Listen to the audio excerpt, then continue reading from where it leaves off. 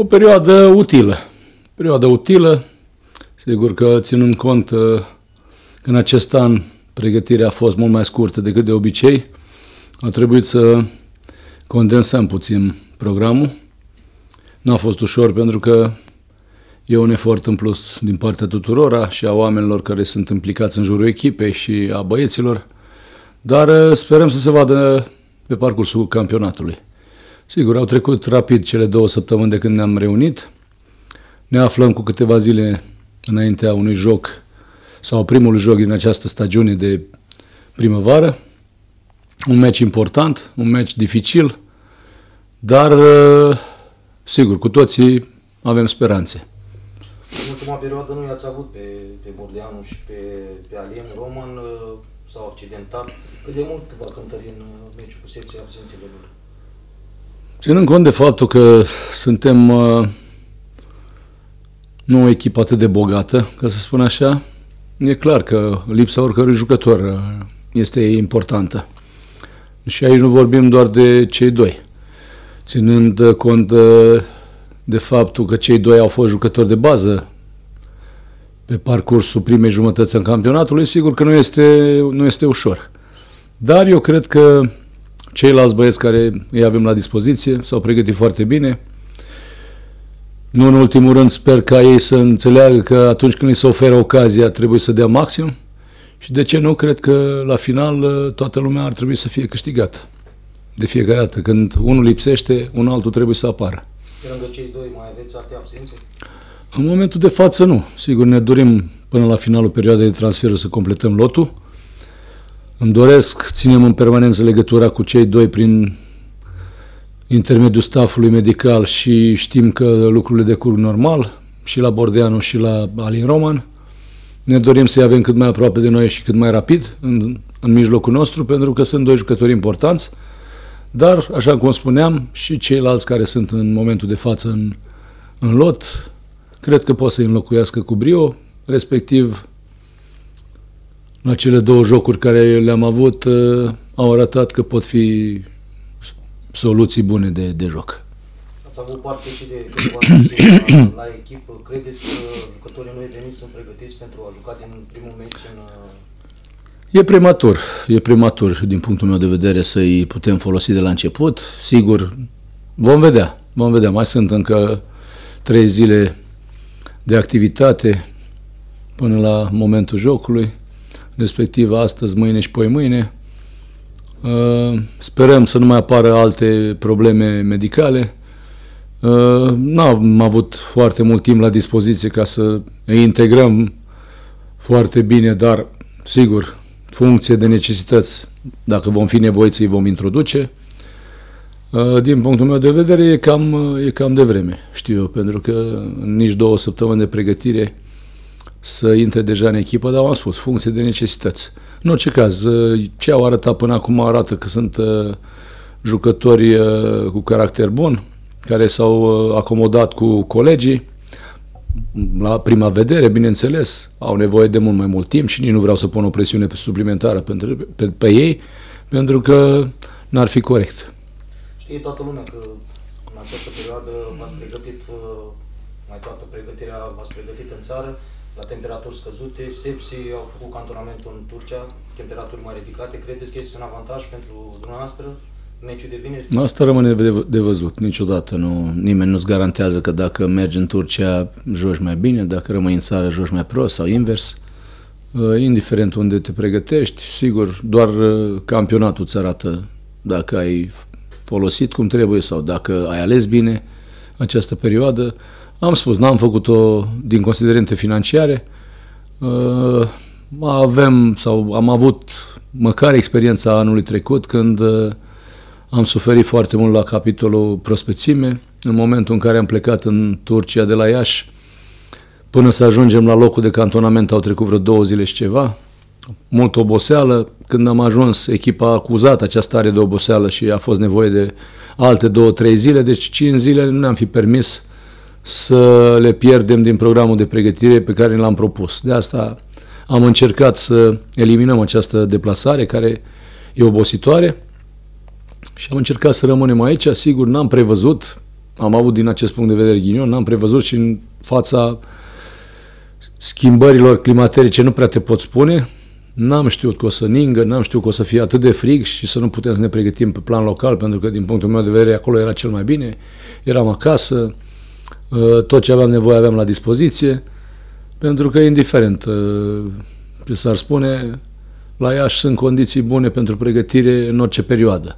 E adevărat, sigur, nu e ca și vara, dar una peste alta cred că puteam să ne facem foarte bine și acolo treaba. Datorită faptului că a nins foarte mult și că a fost exagerat de frig, am fost nevoit să schimbăm locația de cantonament, dar v-am spus, chiar dacă am rămas acasă, eu cred că uh, am putut să ne atingem uh, obiectivele în această perioadă de pregătire și eu sper să vadă în timpul campionatului. Chiar dacă a fost scurtă perioada, v-am spus, anul trecut am avut șase săptămâni de pregătire la dispoziție și am putut să gestionăm altfel această perioadă, am, fucat, am făcut uh, altfel pregătirea. Uh, în toată experiența mea, chiar și la prima ligă, niciodată n-am, uh, nu, nu s-a început atât de rapid campionatul și n-am avut atât de scurtă perioadă la dispoziție să pot să uh, pregătesc echipa, dar v-am spus, uh, toată lumea e în aceeași situație, Aici nu mai există în momentul când începe campionatul motive de a ne scuza sau mai știu eu ce. Cred că băieții uh, sunt conștienți, noi la rândul nostru nu avem motive să ne plângem, așa că sperăm ca echipa să arate bine în această a doua parte a campionatului. Meciul de, de vineri se poate vorbi de o favorită? Fără doar și poate. Întâlnim o echipă care este câștigătoarea ultimilor ediții ale Cupei României, câștigătoare de Supercupă, o echipă cu jucători valoroși, sigur și cu un buget consistent, condiții bune. Am fost acolo, știu ce înseamnă gruparea din Sfântul Gheorghe, mai mult ca sigur ca obiective mărețe și în acest an, respectiv uh, accederea în play-off. E clar că jucăm pe teren propriu, sunt favoriți. Au mai rămas 9 uh, etape din uh, sezonul regulat, 27 de puncte. Ce v-ați propus în, în această perioadă? Da, așa cum am spus cu altă ocazie, cred că campionatul regulat uh, nu poate să-ți dea cine știe ce liniște, indiferent câte puncte face, pentru că în jumătățirea îți mai taie din elan.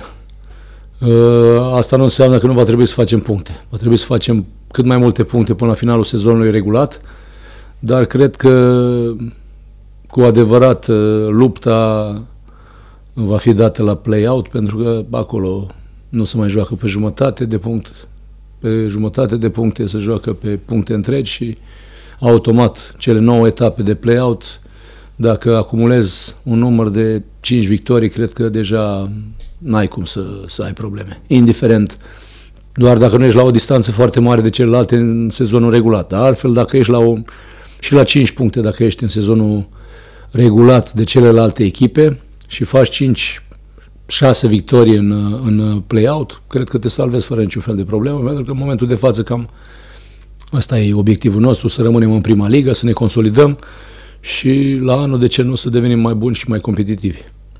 Uitându-vă la, la modul în care s-au pregătit celelalte echipe și la transferul pe care l-au făcut, cum, cum vedeți parcursul echipei noastre?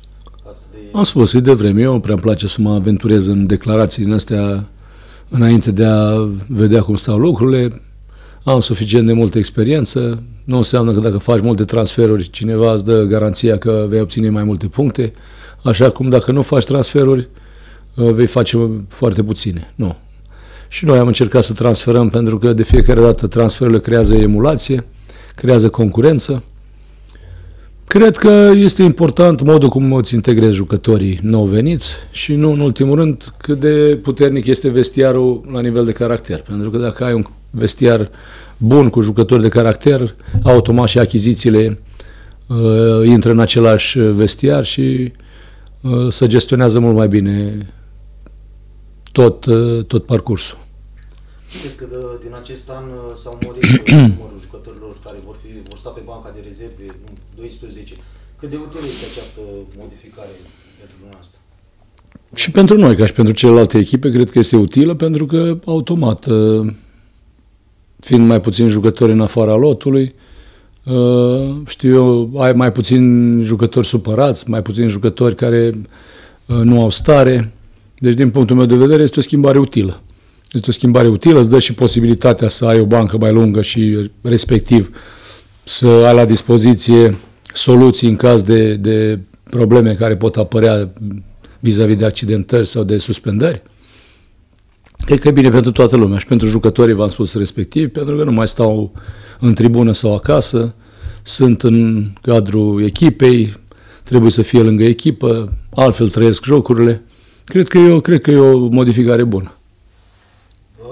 Văzându-i pe băieți la antrenamente, cum s-au pregătit în acest moment, credeți în explozia unor jucători în acest an să intre în atenția echipelor mari și a selecționărilor echipelor Eu de fiecare dată cred. De fiecare dată cred. Uh, sunt tipul ăsta de antrenor care îmi place să dezvoltă jucătorii care au frumoase calități și au perspectivă pentru viitor, dar uh, la final depinde doar de ei. E foarte importantă uh, perioada asta de pregătire, e foarte important modul cum ei înțeleg că trebuie să fie într-o competiție în primul rând cu ei, să se pregătească individual mai mult, pentru că numai așa se vor dezvolta. E foarte greu ca uh, atunci când ne pregătim cu toți, în comun, să putem să facem minuni. Sigur, cei tineri trebuie de fiecare dată să pregătească suplimentar, să facă mai mult dacă își doresc mai mult. Noi suntem alături de ei, suntem lângă ei, să-i sprijinim, să-i ajutăm cu tot ce avem noi și cu tot ce știm noi, ca să poată ei să, să crească într-un timp cât mai scurt posibil, cât se poate de mult. Activitatea unui club uh, depinde de mai multe verici, să spun așa. Ce mesaj aveți pentru colegii dumneavoastră, pentru stafful administrativ, pentru stafful tehnic, pentru jucători, pentru suporteri în ultimul rând? Da. Ca de fiecare dată, încep cu suporterii pentru că avem nevoie de ei la orice meci sau la fiecare meci. Mi-aș dori să fie mai mult și în deplasare, dacă nu se poate, măcar la jocurile de pe teren propriu. Am spus de fiecare dată, din momentul când am ajuns la echipă, că îmi doresc, îmi doresc să încurajeze echipa, îmi doresc să aibă încredere în echipă, pentru că nu vor fi dezamăgiți. Uh, îmi doresc ca echipa să muncească cât mai mult pe teren, să lupte pentru fiecare minge și sigur, este un sport în care sunt două competitoare, fiecare își dorește să câștige, la final nu poate să o facă decât una în cel mai fericit caz, poate fi egal. Dar uh, asta nu înseamnă că trebuie să fim dezamăgiți, e o competiție, v-am spus, toată lumea se pregătește, toată lumea își dorește să câștige. Important este să dai totul pe teren și atunci când ieși să o faci cu capul sus, să nu-ți fie rușine de prestația pe care ai avut-o pe teren.